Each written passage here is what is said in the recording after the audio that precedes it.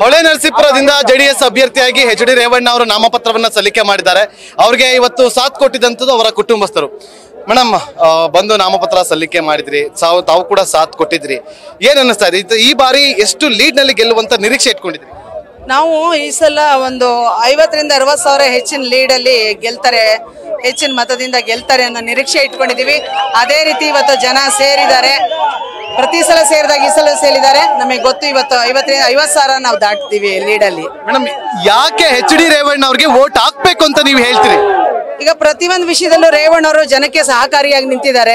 ಎಲ್ಲ ವಿಷಯದಲ್ಲೂ ಶಿಕ್ಷಣ ಆಗ್ಬೋದು ಅಥವಾ ಹಾಸ್ಪಿಟ್ಲ್ಗಳ ಫೆಸಿಲಿಟಿ ಆಗ್ಬೋದು ಅಥವಾ ನಮ್ಮ ಮನೆ ಇಲ್ಲದವರಿಗೆ ಆಶ್ರಯ ಯೋಜನೆ ಮನೆಗಳು ಸೈಟ್ಗಳು ಕೊಡುವಂಥದ್ದಾಗ್ಬೋದು ಊರ್ ಕಡೆ ರೋಡ್ಗಳು ಕಾಂಕ್ರೀಟ್ ರೋಡು ಟಾರ್ ರೋಡಿಂದ ಕೊಡಿಸಿರ್ಬೋದು.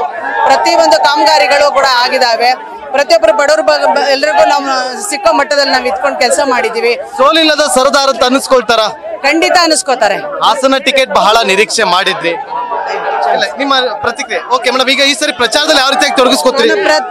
ಪ್ರತಿ- ಸಲ ಹೇಗೆ ಪ್ರಚಾರಕ್ಕೆ ಹೋಗ್ತಿದೆ ಈ ಸಲನೂ ಹೋಗ್ತೀನಿ. ಇದಾಗಿತ್ತು ಭವಾನಿ ರೇವಣ್ಣ ಅವರ ಮಾತು. ಕ್ಯಾಮ್ರಾ ಪರ್ಸನ್ ಪ್ರವೀಣ್ ಜೊತೆ ನಾಗೇಂದ್ರ ಬಾಬು. News fast Hole Narasipura.